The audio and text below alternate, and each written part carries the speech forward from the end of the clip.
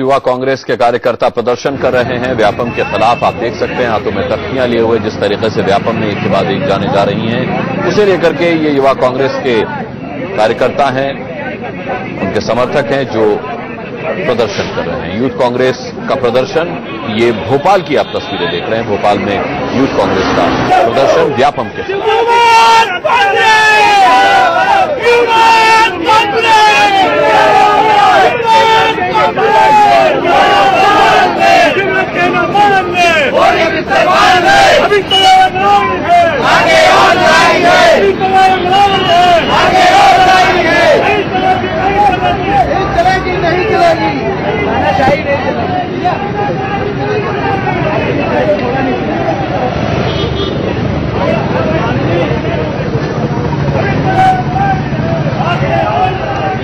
वहाँ जाके candle march चला कैंडल नंबर से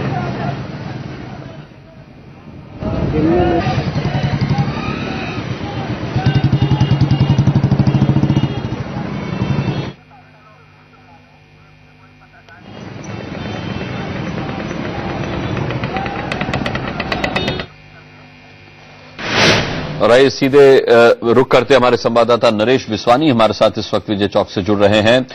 नरेश, अक्षय की मौत को लेकर के अब तक क्या कुछ अपडेट मिल पा रहा है? क्योंकि तमाम सारे सवाल इस पर उठ रहे हैं। अब तक किसी भी एक सवाल का जवाब मिला? जी, बिल्कुल देखिए, अक्षय की मौत काफ़ी ज़्यादा संदिग्ध मानी जा रही है, जिस तरह से तमाम आरोप लग रहे हैं कि उनके मुँह से झाग निकल रहा था और इस पूरे मामले की कहीं ना कहीं सख्ती से जाँच कराई जानी चाहिए। लेकिन इसी बीच दिल्ली के दिल्ली के कापसेड़ा इलाके में जो शव मिला है उपल होटल के अंदर डॉक्टर अरुण शर्मा का, उस पूरे मामले को भी काफ़ी ज़्यादा संदिग्ध माना जा रहा है। इस पूरे मामले की भी तफ्तीश की जा रही है, क्योंकि इस पूरे मामले को कहीं ना कहीं व्यापम घोटाले से ही जोड़ करके देखा जा रहा है। ठीक एक साल पहले नेताजी सुभाष जो मेडिकल मेडिकल कॉलेज है, इसी कॉलेज के डीन का भी उस समय भी मौत हुई थी और वो भी काफ़ी ज़्यादा संदिग्ध थी।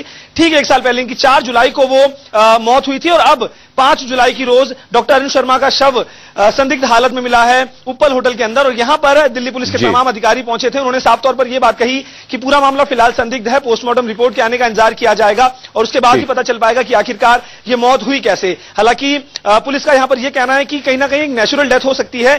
क्योंकि उनकी मेडिकल हिस्ट्री भी थी और ऐसे में कहीं ना कहीं पुलिस इस पूरे मामले को फ़िलहाल नेचुरल डेथ से भी जोड़ करके देख रही है। लेकिन तमाम चीज़ें खुल करके तभी सामने आएँगी जब पोस्टमार्टम रिपोर्ट आएगी और उसके बाद नरेश आप नज़र बनाए रखिएगा अपडेट आपसे लेते रहेंगे। फ़िलहाल जानकारी के लिए नरेश विस्वानी का बहुत बहुत धन्यवाद करना चाहेंगे। खबरें और भी हैं दिखाएँगे आपको एक छोटे